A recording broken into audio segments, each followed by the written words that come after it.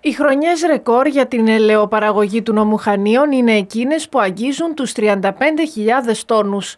Η φετινή χαρακτηρίζεται από τη ΔΑΟΚ ως καλή χρονιά αφού αναμένεται να κυμανθεί στους 25.000 τόνους. Κακή χρονιά για παράδειγμα ήταν το 2019 που έφτασε τους 17.000 τόνους ελαιολάδου. Ξεκινήσαμε με όλες τις καλές προϋποθέσεις στην φετινή χρονιά της ελαιοκομικής περίοδου. Ε, έχουμε αρκετά αυξημένη παραγωγή, ειδικά στην ε, Κορονέη και στη Λιανή Ελιά, λιγότερο στην Τσουνάτη, παρόλο που είχαμε κάποιες καλές προδιαγραφές, αλλά με τον καύσωνα του Μαΐου ε, η Τσουνάτη έπεσε σε πιο χαμηλά επίπεδα.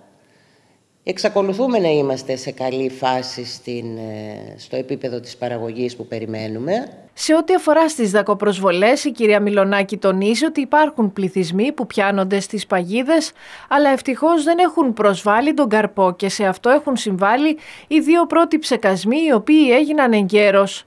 Ταυτόχρονα απαντά και στην κριτική που δέχεται το Σαξές ως το φάρμακο των ψεκασμών. Είναι το φάρμακο που έχουμε στις αποθήκες μας για 4-5 ψεκασμούς. Ήδη πήραμε και την επόμενη φάση από την περιφέρεια για άλλους δύο ψεκασμούς. Ε, ακόμα φορτώνουμε στις αποθήκες. Πάλι το success.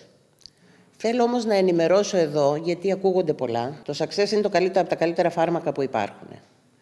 Ε, το έχουμε χρησιμοποιήσει και σε προηγούμενες περιόδους. Είχαμε πάρα πολύ καλά αποτελέσματα. Η ιδιαιτερότητα όμως που έχουμε είναι ότι έχουμε ένα φάρμακο χωρίς εναλλαγές.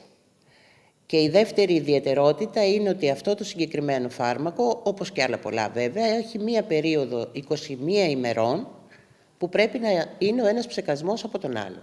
Δεν μπορούμε να ψεκάσουμε νωρίτερα βάσει της ετικέτας. Η προϊσταμένη της ΔΑΟΚ ζητά από τους παραγωγούς να ενημερώνουν την υπηρεσία για τυχόν αλλαγές στις καλλιέργειές τους, υπογραμμίζοντας ότι θα ενισχυθούν οι ψεκασμοί και με ένα επιπλέον φάρμακο. Στην παρτίδα που περιμένουμε από το Υπουργείο, που την περιμένουμε μέσα με τέλη Σεπτέμβρη, θα υπάρχει και ένα άλλο καινούριο φάρμακο, αυτό είναι το Εξιρέλ, ε, το οποίο όμως ε, μπαίνει με τον μεταχρωματισμό του ελαιοκάρπου. Δηλαδή αναγκαστικά μπαίνει εκεί την περίοδο μέσα με τέλη Σεπτεμβρίου. Πιστεύω ότι θα το έχουμε έγκαιρα, αν χρειαστεί να πάμε σε ένα τέταρτο ή σε ένα πέμπτο ψεκασμό, πιθανό να μπορέσουμε να χρησιμοποιήσουμε αυτό το φάρμακο σαν τελευταία επιλογή πριν το μάζεμα. Εδώ και μία εβδομάδα έχουν ξεκινήσει τρίτη δολοματική ψεκασμή από τον Αποκόρονα, συνεχίζονται στην Κίσαμο και στα τέλη της εβδομάδας θα ξεκινήσουν στο Ακροτήρι. Τώρα ψεκάζει Κίσαμος, ψεκάζουν τα παράλια Δήμου Πλατανιά, Κολυμπάρι, όλα αυτά. Ε, και ξεκινάει, από Παρασκευή ξεκινάει Δήμος Μουσούρων, το Ακροτήρι. Διαδικασία όλος ο νομός σιγά σιγά ξεκινάει να γίνει ο τρίτος ψεκασμός.